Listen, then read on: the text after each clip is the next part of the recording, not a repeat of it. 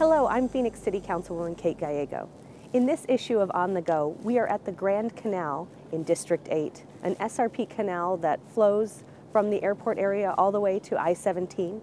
The City of Phoenix just received a major grant from the federal government to reinvest in this canal, and we're doing it in partnership with Cities of Service, the Love Your Block initiative.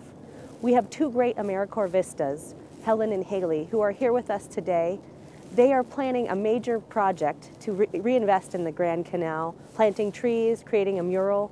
All of this is part of the Cities of Service Love Your Block initiative. So welcome Hayley and Helen. Could you tell us a little bit about this initiative?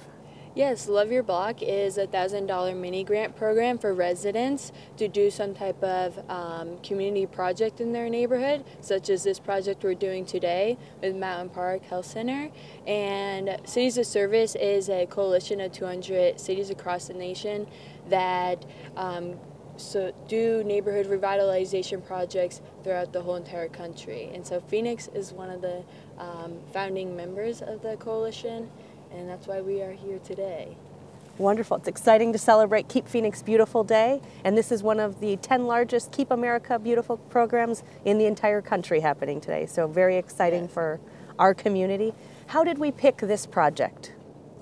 Um, so one really neat thing about this area is it's really diverse. There's um, a large refugee community, and then it's just a really diverse area. The canal you know, needs some loving. Um, lots of people already use the canal, so any way to just make it prettier, beautify it, make it safer.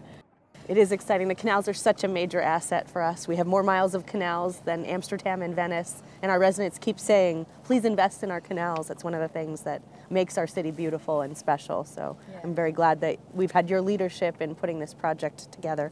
Can you give a little more detail about what we're going to be doing today? Sure.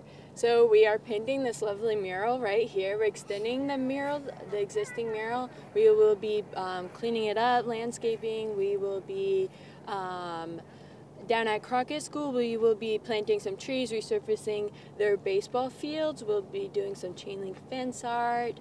And I think that is about it.